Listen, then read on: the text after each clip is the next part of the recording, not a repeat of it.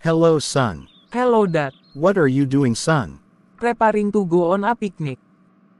Who will go with you? School friends. Papa. Okay, son. Enjoy.